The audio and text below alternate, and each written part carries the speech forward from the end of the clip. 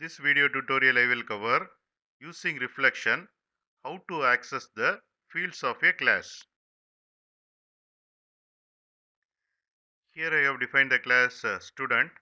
It has uh, two fields name and age. Both are uh, public fields.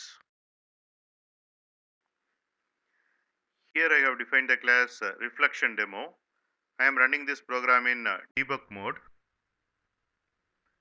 Using uh, dot class syntax, I have created class object of uh, student class.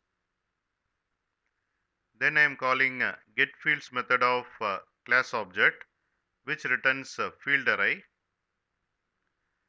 Using for each loop, I am getting each field from field array and displaying the field information.